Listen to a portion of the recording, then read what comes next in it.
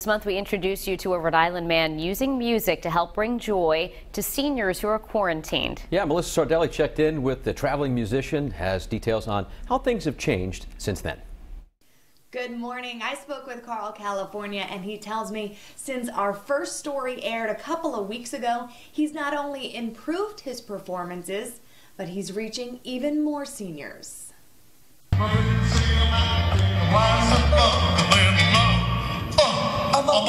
So last week we streamed to I think 70 or 80 rooms inside of one facility. Everybody was locked down for two weeks. They couldn't come out of their room. So this was the first time they could watch their their entertainer that they know, myself, California Carl. They saw him on the television.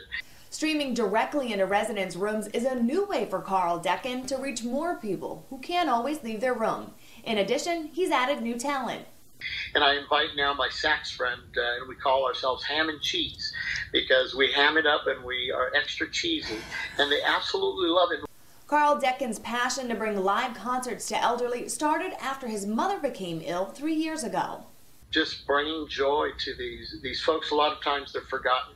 A lot of times uh, they don't get visited too often, and it's just been wonderful to to have uh, have that mission or that ministry. I think of it as a ministry to bring joy to people.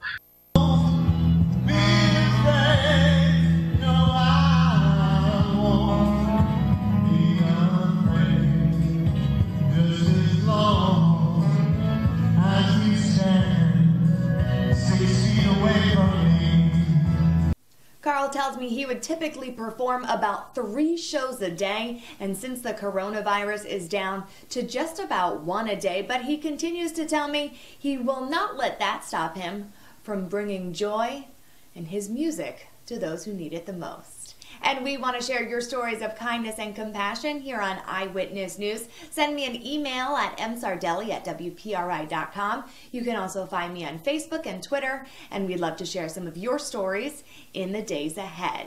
Melissa Sardelli, Eyewitness News. California Carl's going to